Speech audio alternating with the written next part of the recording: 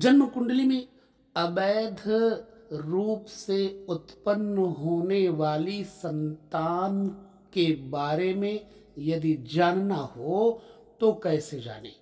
यह विषय बेहद महत्वपूर्ण होने के साथ साथ रहस्यमयी है, गुप्त है। ये किसी अन्य को बताने की ज़रूरत नहीं होती है ज्योतिषी को। ये सिर्फ़ ज्योतिषियों के लिए है। किसी के बारे में यदि जानना हो कि वह संतान अपने पिता की है या फिर किसी गैर से, कैसे जानेंगे? तो ऐसी अवस्था में आपको बृहद पाराशर में सूत्र देखना चाहिए। बृहद पाराशर सूत्र में अगर आप तेरहवा सूत्र देखेंगे, पंचमेश के बारे में तो आपको पता लग जाएगा भली भांति। सूत्र क्या कहता है? सूत्र कहता है, यदि पंचमेश, यानी पाँचवें घर का मालिक चर राशि में बैठा हो चर राशियाँ कौन कौन सी हैं? मेष, कर्क, तुला, मकर। तो इनमें से कहीं पर भी पंचमेश बैठा हो, जैसे यहाँ पर मंगल है पंचमेश। अब इसे कर्क में बैठा दे, चाहे तुला में बैठा दे, मकर बैठा दे, मेष में बैठा दे। ठीक है, पंचमेश चर राशि में हो और चंद्रमा राहु के साथ हो तथा पंचम स्थान में शनि बैठ जाए तो ऐसा जातक अपने पिता के द्वारा वीर से उत्पन्न नहीं हुआ होता है।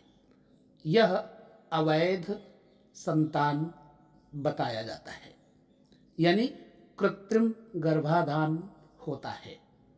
तात्पर्य क्या है? जैसे आजकल टेस्ट ट्यूब बेबी का प्रयोग होने लग गया है। ये उनके लिए भी महत्वपूर्ण है। अर्थात उसके वीर से पुत्र न होकर पर वीर उत्पन्न संतान होती है।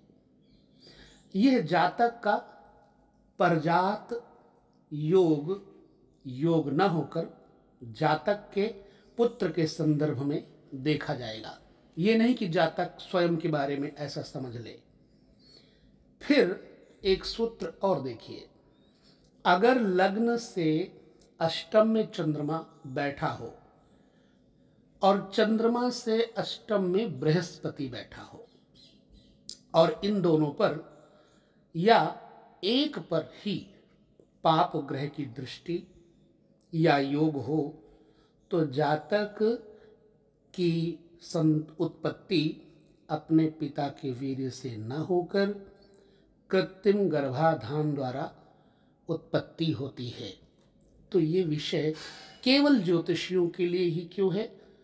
क्योंकि कोई और यदि इसको जानेगा तो घर में मतभेद, बखेड़ा खड़ा हो सकता है। अतः ये सबके लिए नहीं है, ज्योतिषियों के लिए ही है। आपका कोई प्रश्न है, आपकी कोई इच्छा है जानकारी लेने की तो हमें अपने कमेंट्स में ज़रूर बताएँ।